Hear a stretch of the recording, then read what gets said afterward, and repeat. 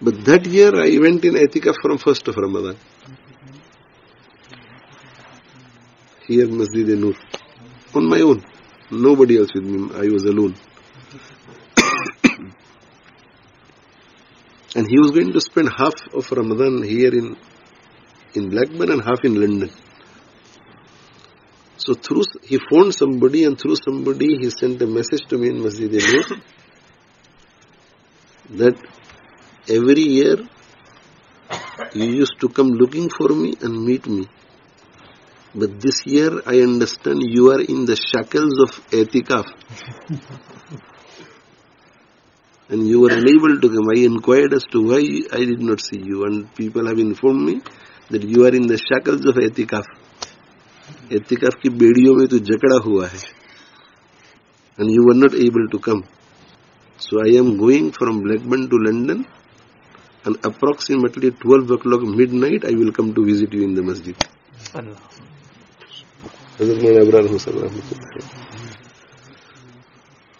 So nobody, the Musalli is nobody. I did not inform anybody because I didn't know how Hazrat would react. But I knew that if I am sitting with young people, Hazrat would react very nicely. He would feel very happy that he is making effort on the young people. And they will also. So Hazrat came. There were about 25, 30 young boys. We were waiting for Hazrat. Hazrat came, we met, he sat.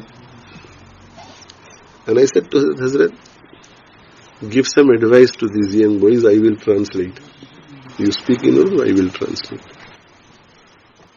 So from amongst the many things Hazrat said, he was very, very knowledgeable, very pious. He said that I am congratulating all of you young boys. I am congratulating all of you young boys. I am congratulating you because you have love for deen, you have love for piety, and you have love for knowledge. Now the young boys was, was staring at Hazrat that we have love for deen, love for piety, and love for knowledge. How does he know? Mm. We don't feel we've got any love for knowledge or piety or deen. And he said, because you've got love for these three things, that is why you are sitting here until midnight. Still they did not understand. And I was a little bit confused as well. So thereafter he said that I should not think about myself that I am knowledgeable, because if I do that, it's very dangerous for me. I should not think that I am a person of deen, because if I think that way, it's very dangerous for me. And I should not think that I am a person with knowledge or piety, dangerous for me. And then, doing my Islah also, he said, and Maulana should not think this way also. That I am a person of deen, I am a person of ilm, and I am a person of piety. That is why people, we should not think it's dangerous for us. But why have you sat here till 12 o'clock? And why do you daily sit with him till 12 o'clock, 1 o'clock, 11 o'clock? You sit with him and you have sat today because you think I and he has ilm, I and he has deen, and I and he has piety. So you don't sit because of him or me.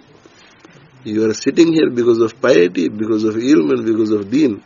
So I am congratulating you that you've got love for piety, you've got love for ilm and you've got love for deen.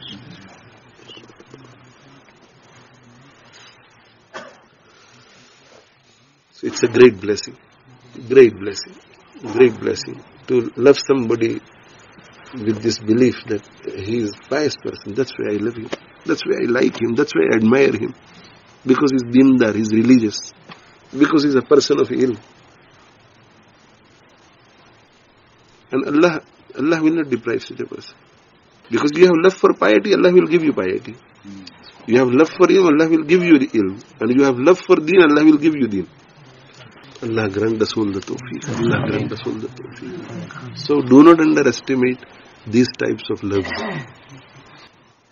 Where you get nothing, what do you get? What do you get for loving an alim? What do you get for loving a pious person? What do you get for admiring a religious person? Material, you get nothing. Worldly gain, no gain. But still people go, people travel, people come, people sit with ulama. Why? Throughout the world. Because they have only one thing in mind, that I will gain with Allah. And Allah is looking at these intentions. Allah Ta'ala grant you all immense barakah. Amen. Immense barakah. And in return for your love for me, may Allah grant, grant you His love. Amen. Hmm? And may Allah also include me amongst you. Amen.